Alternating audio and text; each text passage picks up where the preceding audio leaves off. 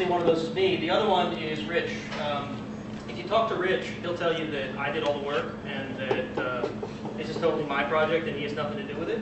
But I'm going to tell you that Rich is way too modest. Without Rich, this display would never have come together. It never would have worked. Uh, he and I spent weeks getting the damn thing working. And, um, well, yeah. So, um, this was originally a talk I gave at DerbyCon. One of their stable talks. It was only 25 minute slot, so I had to sort of redesign the thing to fit an hour time slot. So uh, one thing I didn't do then was a nice intro. Uh, so hi, I'm Nate. Um, I took several pictures like this to try to fill this slide, and this was the one that felt the best. I don't know why. I think I like the sunset in the background. So, uh, um, in my career, I have worn many, many hats. Oh, here's how you can find me on my Keybase. Um, you can find my website from there, my Twitter, lots of other things. Uh, the name Gangriff is where what I've been using for a lot of public things, like like uh, Twitter. So at Gangriff. This is the slide I was looking for. I've worn many hats, and bonus points to anybody who can tell me what book this picture is from. Pinocchio. Nope. Sometimes Seuss. It's Dr. Seuss. You're close. No. Not the cat in the hat. Does it look like the cat in the hat hat, Keith? Nah, man. Nah. Do you remember what book it's from, Karen? You gotta speak up so people can hear you. Here. Five. Five what? Five, five, The 500 Hats of Bartholomew Cubbins. Right. so I've uh, I've done help desk, like most people in IT started out. Um, after I did help desk, I moved up to network support uh, in the same company. Uh, then I moved on to a little company uh, where I was the network administrator, which was basically a very broad title which said if it has a CPU in it, it's your responsibility. Because we were uh, like 10 people, and there was me and one other admin, and we had to do everything. So uh, that exposed me to a lot of networking gear and a lot of systems gear, and uh, all this time what I really wanted to be was a sysadmin. So finally I got the chance to move on to Lafayette College as a system administrator. I work with a lot of Linux there. Not this kind of Linux. However, when I was looking for a picture to fill this slide, uh, I ran across this and I thought it was too funny to not include. It's apparently a cleaner line called Linux. Uh, but no, um, this kind of Linux. So I, I, like a lot of people who like Linux, I really despise Windows. Um, so I'm very happy that I ended up in a role that does almost 100% Linux. Uh, and all the Kool-Aid that I drink in my Linux career is red. And by that, I mean I'm Red Hat certified in several ways. I'm a Red Hat certified system administrator, Red Hat certified engineer, and a Red Hat certified virtualization administrator, which means that uh, if Red Hat makes it, I can probably run it. So uh, in my in, in the time that I've been in IT, I've gone by several different handles. We're all familiar with people. This is the struggle that is how do we name ourselves online. This is what I'm using currently. Uh, depending on when you met me and uh, what genre we, we met in, you could have met me by several other names. One of them is war. That's a pretty unpopular term, which is why I've been using the term, or using the name gang group. This came from uh, a group I was in in high school. We called ourselves the Four Horsemen of the Apocalypse, whatever. In my BBS days, I was Venom, and I still use that term or that name in the BBS community. Um, I'm a member of a project called the Major BBS Restoration Project. If you're interested in very old software or BBSs in general, and you happen to like the Major BBS or World Group, you should look up that group on Facebook. It's pretty cool.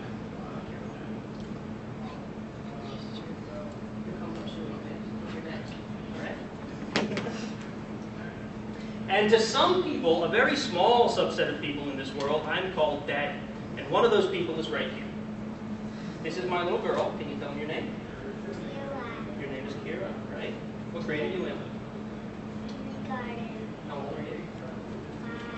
Five. Right, so she's here um, to be my little hat model. And if anybody, there's going to be a point where I'm going to take off the hat and take the battery out of it so you guys can have a look at it. If anybody wants to see it, all you have to do is raise your hand and she'll bring it to you. Okay? So we like to do things together. This is one of the fun things we've done. I figured I'd give you a slide that had us in it. This is the best one I could find. Yep. Right, kiddo? You had fun on that trip, didn't you? Uh-huh. Right. But it was a long hill. Mm-hmm. Where was mommy in that picture? She took the picture, right? You remember why? She was afraid. this is one of the hobbies I like to, uh, uh, get into while I'm not in front of a computer. Um, unfortunately, my wife Jess, who's also here in the audience, uh, gets a little paranoid when we're doing things where we're not level or. Stable, safe. So, why did I come here? Why did you come to see me? And what the heck did I build? Well, I built a hat for DerbyCon. This is a picture I took right as I got the hat to sort of show off, like, hey, look, I got this Derby. Because this was dumb luck. I found a great Derby for twenty dollars on uh, online. Uh, so the Derby inside of it has a Raspberry Pi, and the Raspberry Pi is connected to a wireless adapter, which you can see connected to that little wireless hub there, or little uh, USB hub next to the uh, crocheted companion cube that my wife made me. And an external OLED display, which you can see upside the hat, obviously. Um, so why would I put all those things into a Derby? Well, Thing runs a capture the flag contest, all built inside of Derby. You can connect to it wirelessly. You can probably see its SSID right now if you look for Derby Corp Alpha. So uh, we actually built two of these. Derby Corp Alpha is mine. Derby Corp Beta was Rich's. I guess Rich didn't bring him along. Sorry. You failed. Sorry. I did tell you I didn't need it. So. Right. So, um, right, so there's a whole, it's, it's a self-contained host inside of the hat. I run a number of services on the Raspberry Pi. Uh, those are served out via a wireless access point that's also hosted from the single Raspberry Pi in the hat. And you can connect to them and you can try to break into them. And there's actually a scoreboard and everything. I'll get into that more later. Uh, so why the heck? Well, here, I guess here's a good point. I can take this off, and if you guys wanted to see how I built this thing, let me just get it. I'm going to pull the battery out so you can see what's underneath the battery. Pliers. Don't take it out. Don't take it out. Why? See, then it won't work. Well, I won't. I'll try not to disconnect the battery. How's that? Okay, keep it in. I can put it back in, Daddy. I'll put it back in when you're done. How's that sound? All right. You got down with the chair? I can't. You can't hear.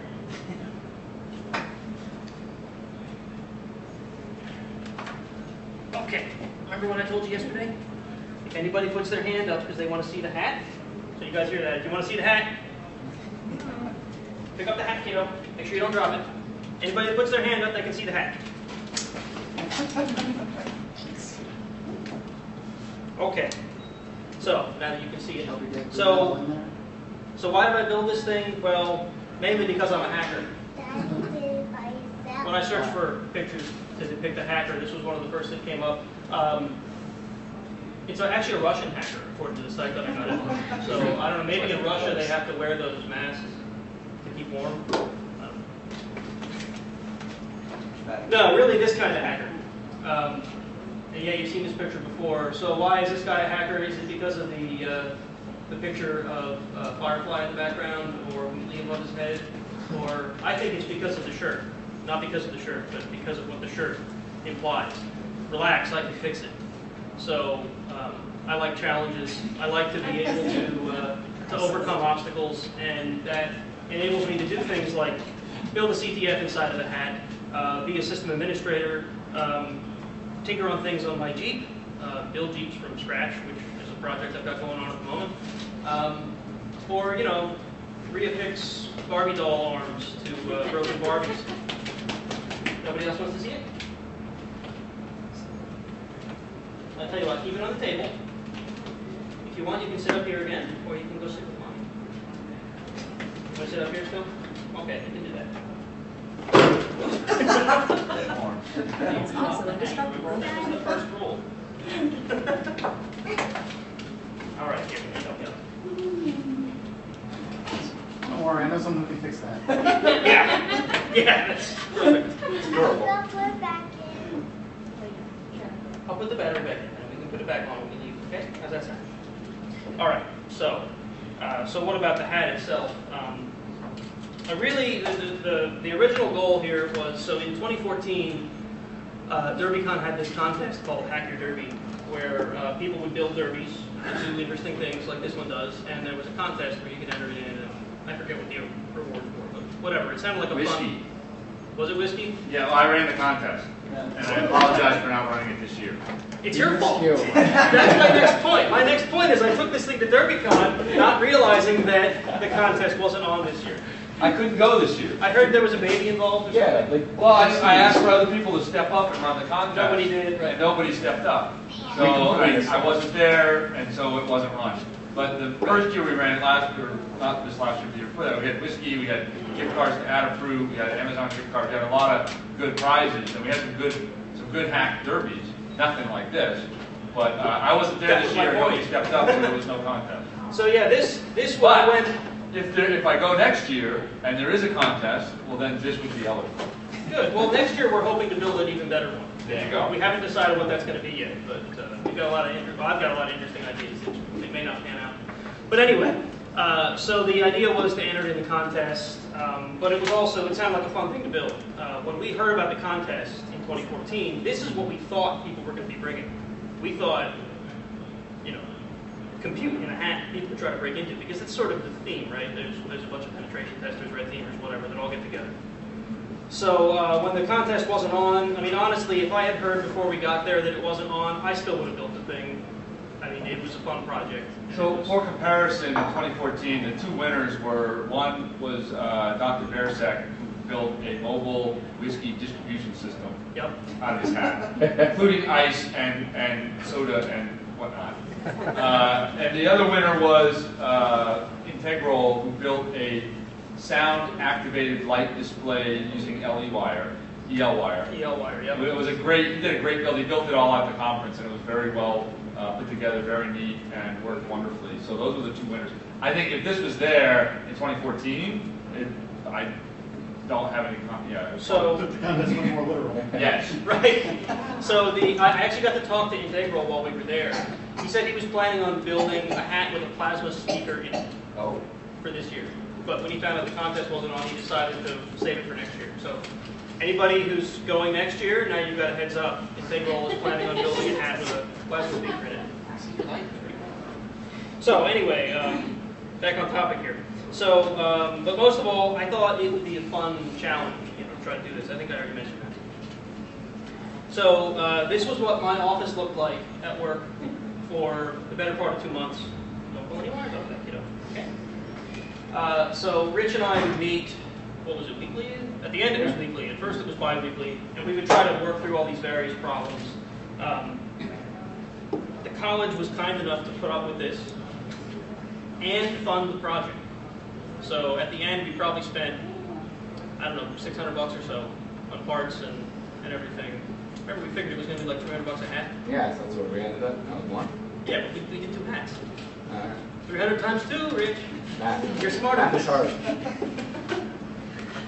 So anyway, we had a couple of goals going into it. A, you know, we wanted this, I mean, this idea for the platform came right after DerbyCon 2014. We're like on the ride home from Louisville to Pennsylvania talking about what can we do with this thing. Um, we didn't actually start building it until June or so, May, I don't know. Anyway, uh, so we had a couple of goals. The first goal was we wanted the thing to run self-contained on battery power for up to 16 hours. Uh, we ended up a lot higher than that. The battery that we bought got us like closer to 30 hours, so that might have been overkill. Next time we could probably go with a smaller battery uh, and save some room in the hat. Uh, the second thing, we- wanted to be able to recharge that battery within six hours because, face it, you don't get eight hours of sleep at DerbyCon and most conferences because you're out talking to people, partying, or whatever until the wee hours of the night, and then you need to get some sleep in and get up for the 8 a.m. talks the next morning. Uh, so we wanted that. Uh, we wanted it to not emit a ton of heat because we had to wear these things on our heads, and we wanted it to be as, as, as, as aesthetically pleasing as possible. And as you can see, other than the screen, this thing just looks like a derby. There's no holes for ventilation. There's no. We toyed with the idea of an external antenna just to draw some attention to it, but we decided against it. Um, and the third goal, which came up closer to the end, was we wanted the thing to feel as much like an appliance as possible, which was wake up, plug it in, wait for it to boot up, and go. No tinkering, no, you know, connect to it from my laptop and make sure that all the scripts are running and whatever. So I put a lot of work into making sure that everything that the thing ran either ran at boot time or was a service that uh, the, the OS on the Raspberry Pi could just start at boot time. Um, or that it was somehow timed, which was the only time, the only thing we ran into, which um, the morning we're, we're leaving for DerbyCon, we turn on our hats as a sort of a last check.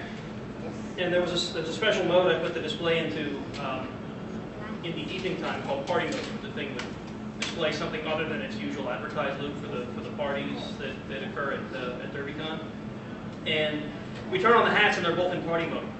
Because when we turned them off last time, I was testing party mode, so the time still thought the thing was there was a there was a time set in the, the script that after like 8 p.m. at night it would go into party mode it would turn off at like 2 in the morning, right?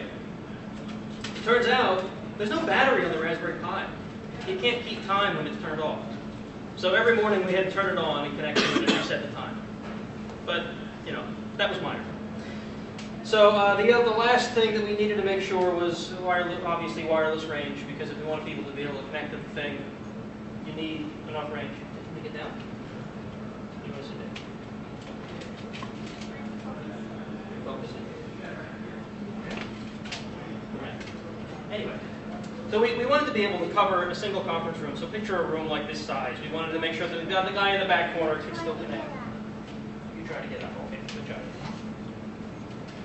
Uh, and I, I think we got that via the little wireless, USB wireless adapter that we have in there. So some highlights about what we ended up putting in the thing. So we used the Raspberry Pi A Plus because it's small. Uh, it's got a pretty compact form factor. It uh, has pretty low power consumption. Um, and it's got a single USB port, which is all we thought we needed. We ended up with a USB hub for power reasons, and I'll go into that. I guess I can go into that at this point, honestly. Um, we had read that the power supply in the Raspberry Pi was a little bit finicky, right? So the output to the USB to power the US, power the Wi-Fi adapter. We heard sometimes, maybe it was with, with older older models or whatever, that the, the output voltage on the USB was not always stable. So we decided it was better to have a powered USB hub. So the way we connect the thing is the battery powers the USB hub, which then powers the Raspberry Pi, which then the Raspberry Pi connects back to to connect to the wireless adapter, which is sounded crazy. I was surprised it even worked, but it did because the input on the Pi is just power, the output on the Pi is standard USB. Um, so whatever, it worked out. Uh, the next thing was obviously the, the display. Uh, we ended up with a 16 by 2 character OLED from Adafruit. Um, we went with OLED because it lights up really nice, makes it easy to see, um, and it's also lower power consumption than an LED or LCD.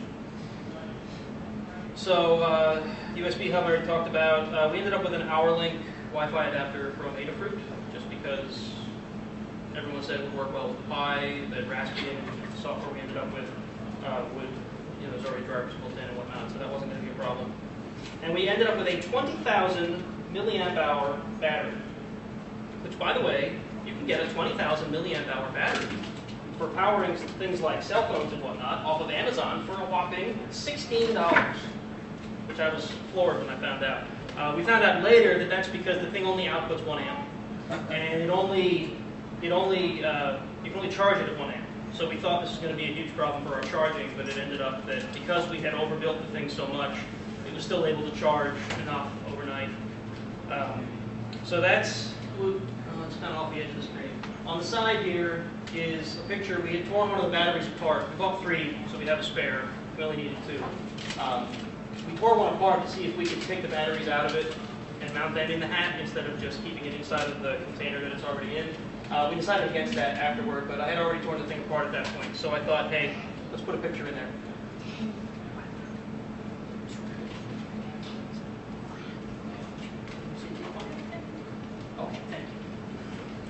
Okay, so the other picture is the back of the OLED display. So you see these tiny little uh, specs that you might call resistors. I'll point one out.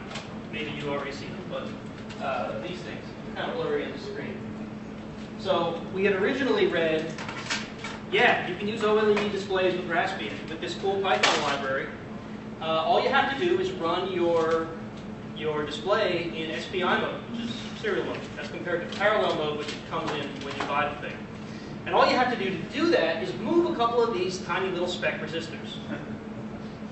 So we thought, okay, Rich has some experience with soldering. Um, he actually runs a class at a local community college that deals with, uh, you're using, um, do not Ar- Arduinos and uh, LCD displays. So he had some experience with the whole, whole deal. So we thought, all right, Rich can do this. He moves the things around, and then it doesn't work. So we read some more documentation, and the documentation doesn't match what we found from the spec sheet for the, uh, the OLED display. And the, the guy who wrote the, the, uh, his little how-to that we were following, his pictures didn't match what he was telling us to do. So we ended up just saying, we're going to put it back in parallel mode and figure it out. So we put the thing back to parallel mode. So Rich not only had to surface mount solder once, he had to then move it all back. So on the second display when we bought it, we didn't even bother with any of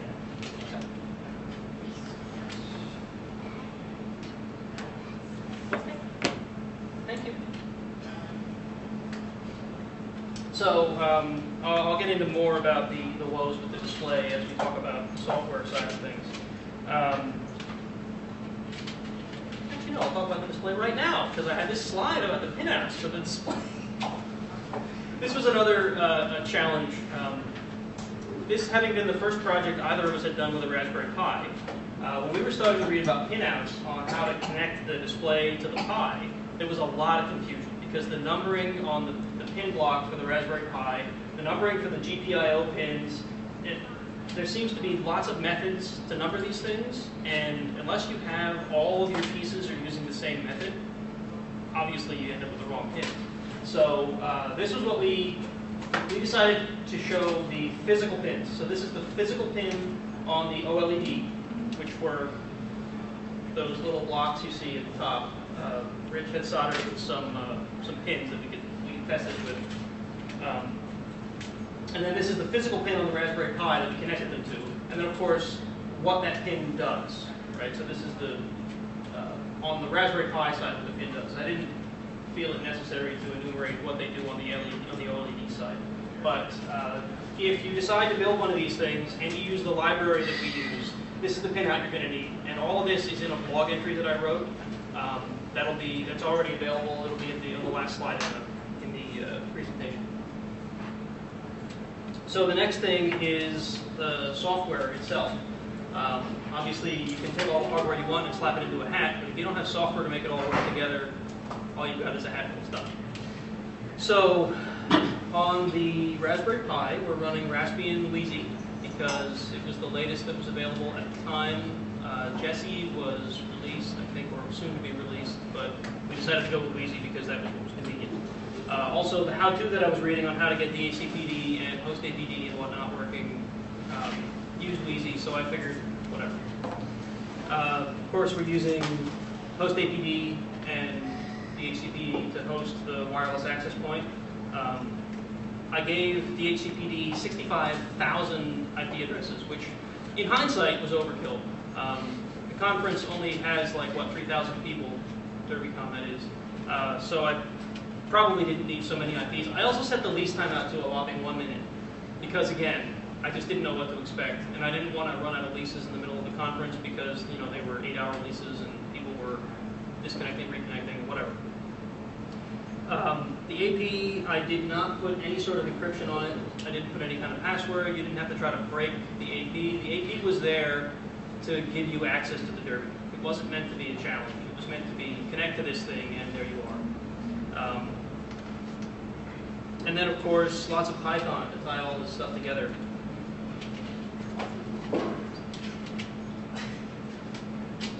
So the next challenge we had to overcome, software-wise, was the actual library to control the OLED display. So you can see, it's upside down because of the way things are oriented here. So you can see on the display, as it cycles through its things, it does this little Pac-Man animation. It displays on both lines, which, you know, when you buy a two-line OLED, it's, it's nice to be able to use both lines. Well, the, um, the library that we found, that someone had sort of, they, they took Adafruit's uh, LCD display library, and they sort of hacked it around to work with the OLED, which was a matter of timing and a few other, you know, this does this function and this does that one. There was some things changed around, but uh, in the, at the end of the day, the thing just didn't work right. It would only display one line. Um, there was no easy way to just do things like clear the display or reset it. Like, there were functions there they didn't seem to work the way we wanted to. We couldn't position things on the display, so uh, you'll see that these things show up centered. There was no function in this library to center things on the display. Uh, you had to move things around manually, and then that half the time didn't work the way you'd expect it to. So um, at the college, we have a, a team of people that do things like systems management. One of those people is who we call our systems programmer. Uh, he's a Python guy. And we, we took the library to him, and we said, Carl, we have this library, it's Python. I know this much Python, I'm learning. Um, you know Python. Can you look at it and tell us if you can make it better? So he asked us for the spec sheet for the, the OLED, and we gave it to him. And about six hours later, he came back to us and said, hey, I wrote you a whole new library. So we used his library. Uh, thank you, Carl. He's a lifesaver. Otherwise, Rich and I would have been trying to figure out how to program Python on top of the other Python that I was writing just to get this dang display to work the way that we wanted it to. So uh, he was a lifesaver. Um, I have to give him credit. Um, so the next problem that I had to tackle was, so in, in a normal CTF, um, you're not limited by space. You're, you may be limited by you know, power or connectivity or whatever, but uh, I added a new dimension to the whole thing, which was I needed to fit it all inside of a hat. Right? So in a CTF, you might have several servers or a big honking server that does a bunch of VMs. I couldn't do any of that. I can't put a rack in my hat. I mean, maybe I could have put two Raspberry Pis, but not several. Uh, so what I ended up doing was, well, with my virtualization background, my, my initial go-to was, well, there needs to be some way to, say, virtualize this, but how do you virtualize on a Raspberry Pi? It's got 256 meg of memory, uh, and I don't think the CPU even supports virtualization. I didn't even look that far into it. The memory concern was, was the biggest problem. So um, you may have heard about this thing called Docker. Maybe you haven't. the idea is uh, it containerizes services. Um, if you look up Docker, uh, you'll find a bunch of pictures that people use of shipping containers on a loading dock or on a ship or whatever. I thought this one was much better, just because it was a container containing something, not just containers on a pile. Um, and I had no idea you could fit a plane inside of a shipping container. That's pretty cool. So Docker gives me the ability to run several services on this little Raspberry Pi and compartmentalize them. Because the other option would have been, I run the Raspberry Pi and all of my flags were going to be running in the host's operating system. Now, turn that over to a bunch of penetration testers and red teamers, and you're just asking for trouble. I feel like I'm a good sysadmin. I don't think I'm that good. I don't know that anybody's that good, that you could just turn the host over in the, in, in the way that I would have need, needed to, and not expect someone to just destroy the thing. So uh, containers let me run things directly on the host. However, they're contained inside of SE Linux and, and whatnot uh, to make sure that you can't get outside of that, that service and get, get to the host's operating system. So uh, that was uh, really a breakthrough, and I had to figure that one out early on. Otherwise, this whole project wouldn't have worked out the way it did. So uh, I've been using the term, it's like virtualization light. So instead of running a whole operating system in the container, well, it sort of does, but it sort of doesn't. Uh, uses the host's kernel. So there's no, you know, I don't need to virtualize an entire CPU and memory. I just need to say, okay, you can use the kernel, you can use my, uh, you can use the host's uh, resources, but only within these confines. So that was that was really really useful. Uh, I had never heard of anybody running something like Docker on a Raspberry Pi before, but luckily I found a guy who who'd taken the source for Docker and modified it to work on the CPU for the the, Raspberry Pi, which was great because otherwise I never would have been able to do this. Um, so I had to compile Docker from source, which is something I haven't had to do in a very long time. Luckily, I had done these things before. it wasn't a big problem. Red Hat obviously gives me nice little packages to install everything, so I, I may have been a little rusty, but I got through it. Um, so the next thing I had to figure out was scoring. Um, so if you're going to hit, you're going to get to one of my flags, I need to find a way to securely let you register your points um, in a way that others can't just sort of copy them. So my first thought was, okay, well, we'll just internet connect the Derby. And then when you hit a flag, you'll know you run a script or something, and that script will talk to the scoreboard and it'll give you points.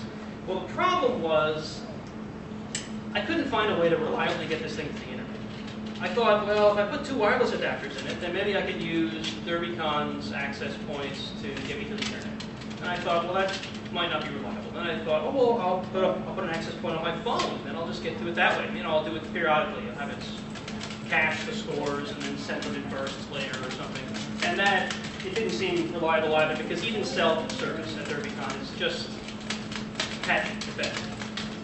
So um, I ended up with a, code structure where when you when you got into one of the one of the containers or one of the flags, it would give you a code, and then you take that code to an external scoreboard, and you enter the code, and then off you went. You get your points. So the the the next problem with codes was shoulder surfing.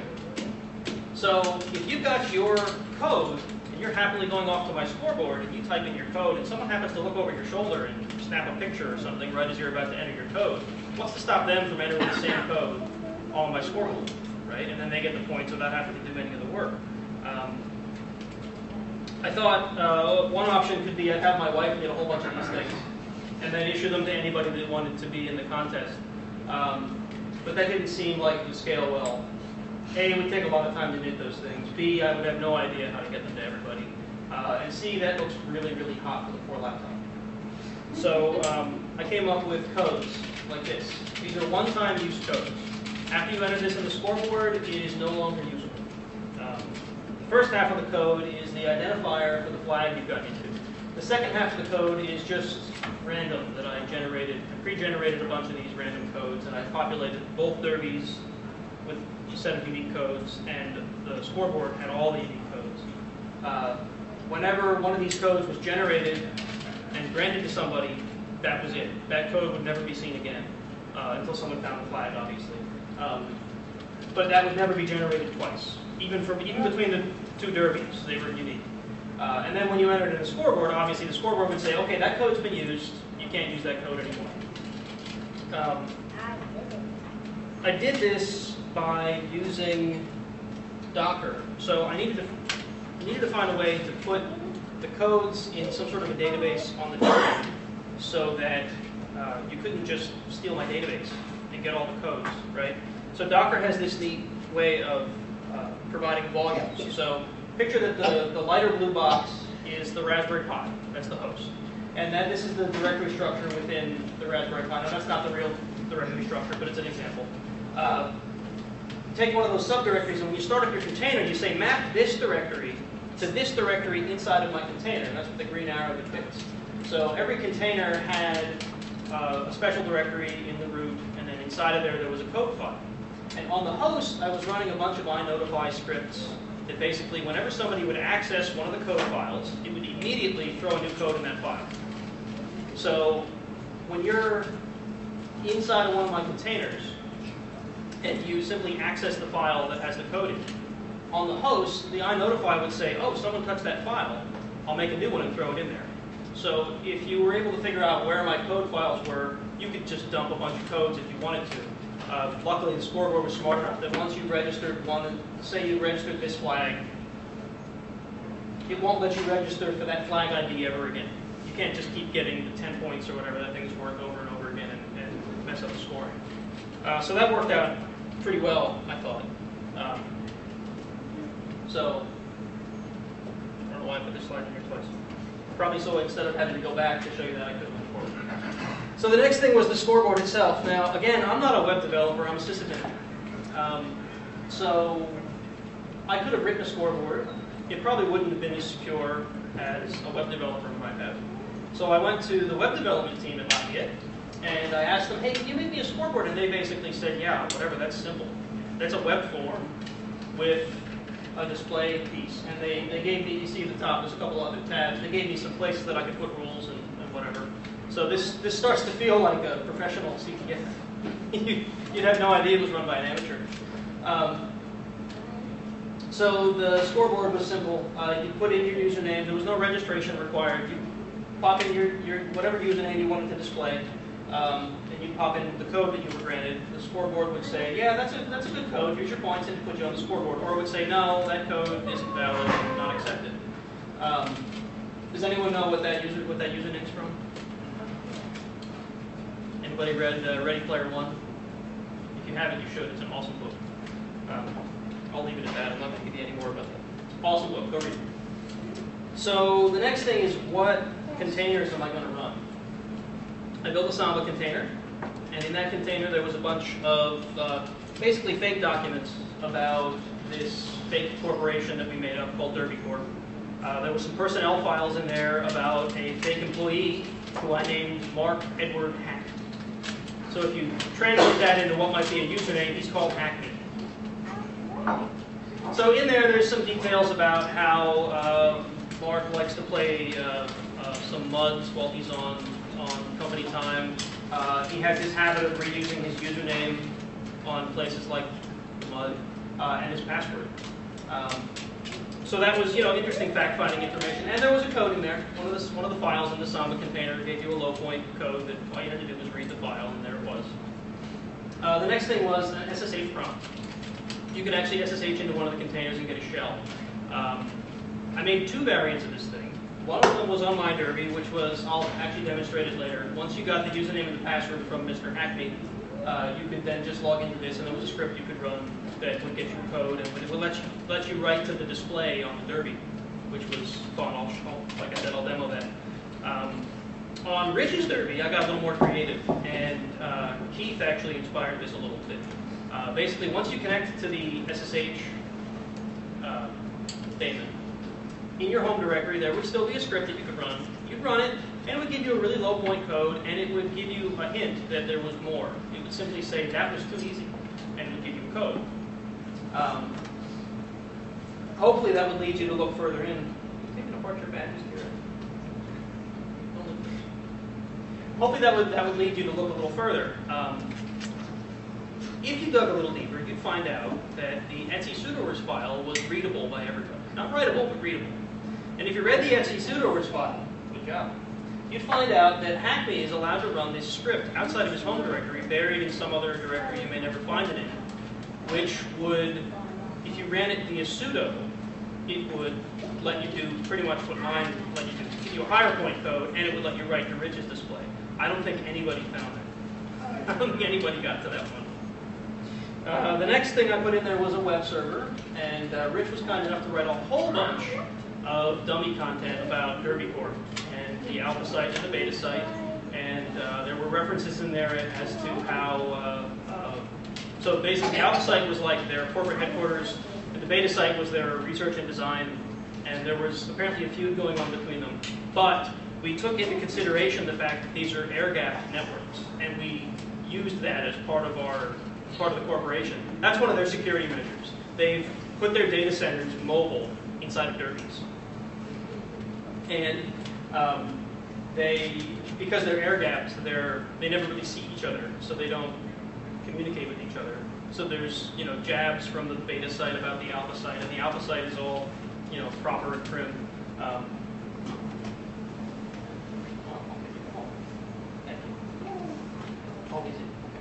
So, um, right, so, you know, we, we, we kind of ran with that a bit, and, and Rich came up with some pretty funny content. Um, and the last thing I put on my Derby, but not on Rich's, was a circle mud. So if you, any of you are familiar with circle mud, like I said, my origins come from the BBS days, text-based muds and whatnot. This is a mud that runs on Linux, it's open source.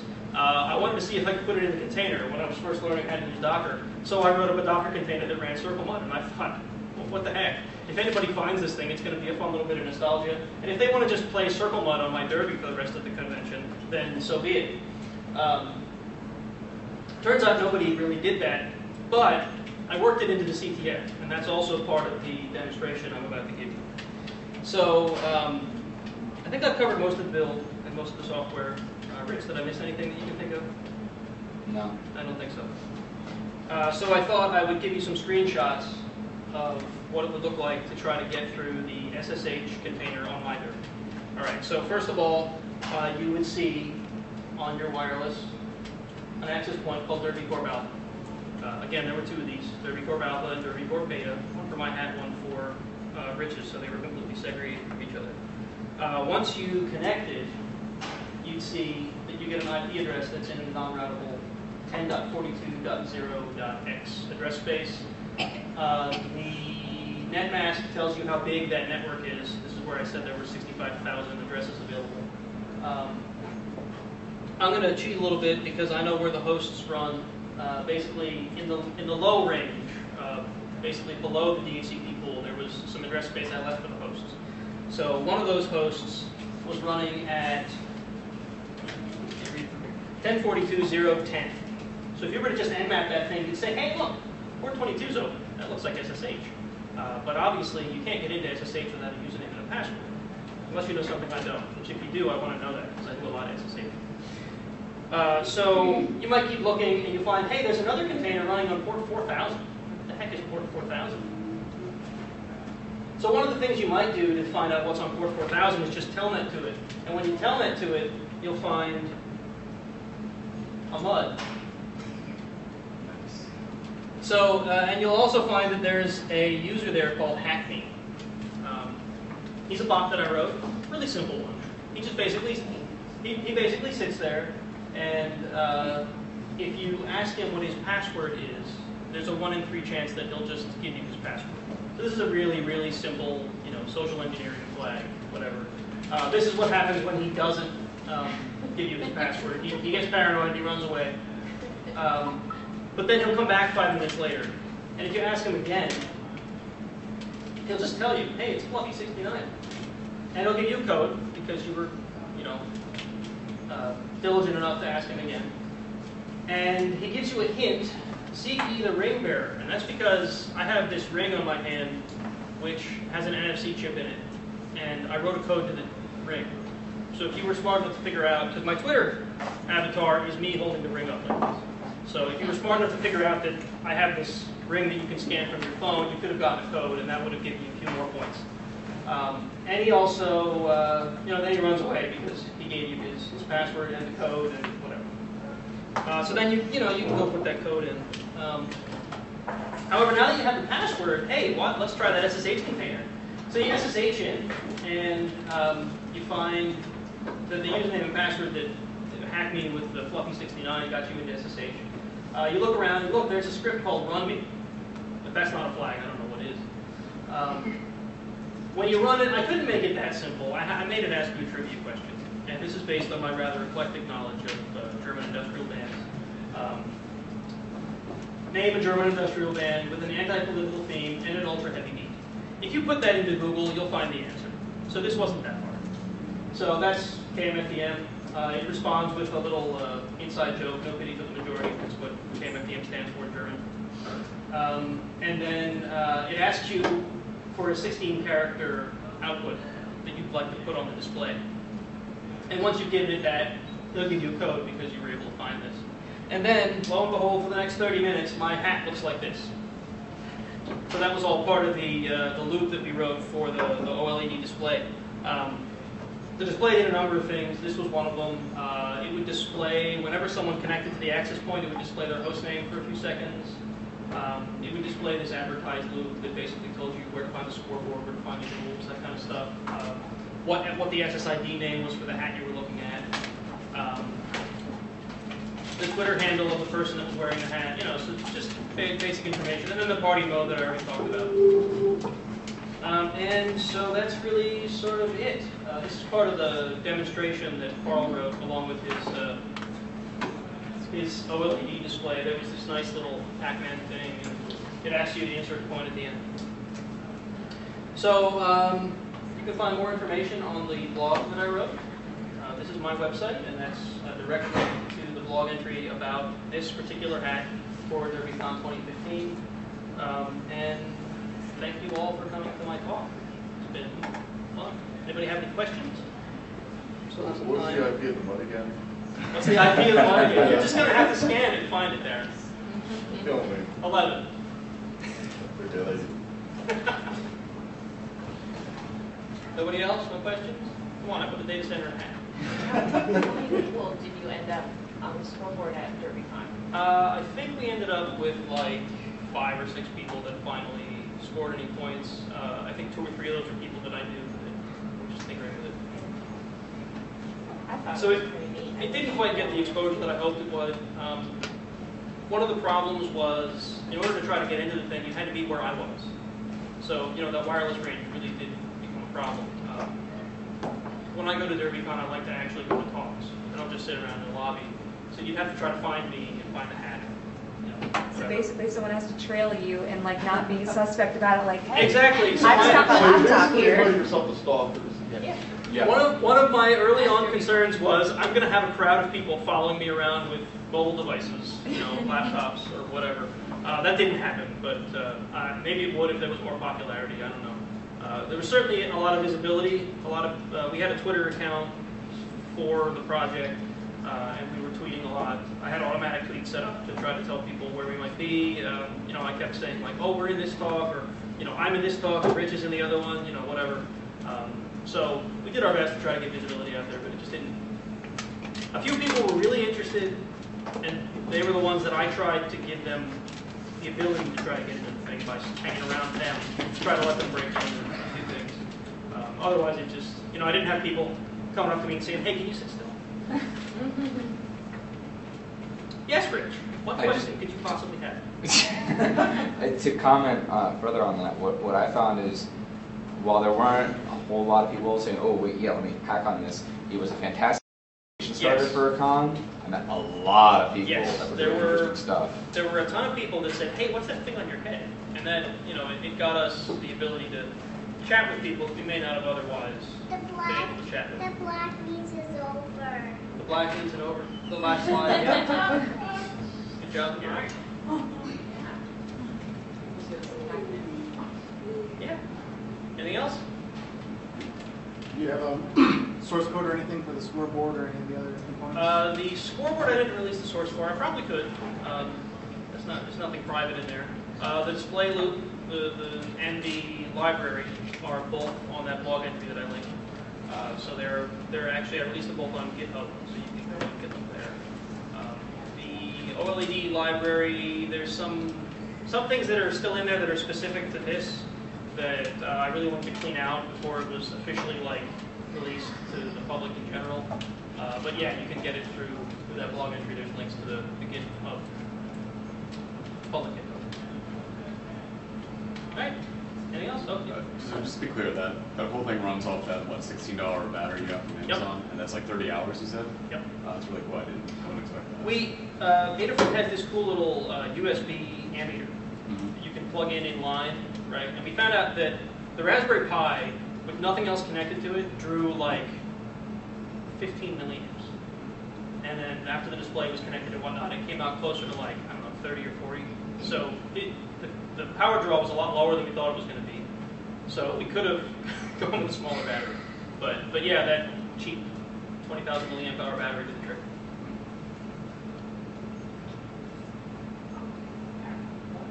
Oh, we did it from home. To resolve your range issue, might you consider in the future adding like a 3G? You mentioned, you know, cell service is spotty, but as an alternative connection. So maybe. Um, that sounds like there could be a lot of other issues. Um, if it's on 3G, then wouldn't that mean it would have to connect to like a cell provider? And if it's connected to a cell provider, now I need to publish the IP address, and now you need to break into it. Right, but now you need to not only break into it on this protected private address space, but through a cell provider. Like, the internet? Yee. Yeah, that seems like it'd be tricky. Plus, I wouldn't know what the cell provider would have in line to stop that sort of thing. Nothing. They got nothing. Really? I've never, I've never tried. to That was the whole problem with the, uh, the, the cars, Jeeps. Oh yeah, And it's just sitting on the Sprint network and has no right. protection. Well, if it's on Sprint's network, it won't have any connectivity anyway. So, nothing to worry about there. So yeah, we thought about. I, I've been kicking around the idea of can we work wireless repeaters into this next year somehow? You know, would it be like things we drop around the conference, but then people might steal them? How do we keep them powered through the whole conference? Do we have to like every day we make the rounds and plug new batteries in? Um, the other thought was make twice as many hats and have you know our friends wear hats that are just repeaters, and make sure that people are around us. Or just build little repeaters into a little self-contained thing. You can carry it around in your, in or something. You know, so that, that might be an option for next year. Mesh Um, network would be pretty cool. A mesh network, there you go. Boost the power like crazy. I got two things. The other thing is we don't want to we don't want to interfere with the official DerbyCon CTF as well. Like I don't want this to be so big that it's detracting, or people think it's part of that. You know what I mean? It's fun. Some people don't, don't want to sit in the CTF room all day long. Right. Where So- this would be something, That was part of it. I wanted to make these things easy enough that anybody could just, in five minutes, tinker around and get some satisfaction, find a code. You know, uh, and a couple of the harder ones were around to sort of make it a little more entertaining for people that are a little more skilled. So, for example, I had Keith walk through uh, just a, a test of this at a party I was having at my house, and he got through all of the the uh, flags that were on this derby in like half an hour or an hour. But he's, you know, experienced penetration tester. I think just about anybody could have got one or two flags simply by for connecting. starting people, like people that are just Right. getting into it, you know, it's fun. You know, you put fun stuff in it, little jokes. That's what we tried to do. So we tried to make it enter- more more so of an entertainment thing than a like I'm gonna get you know cold hard cash out of this or something. Right. So.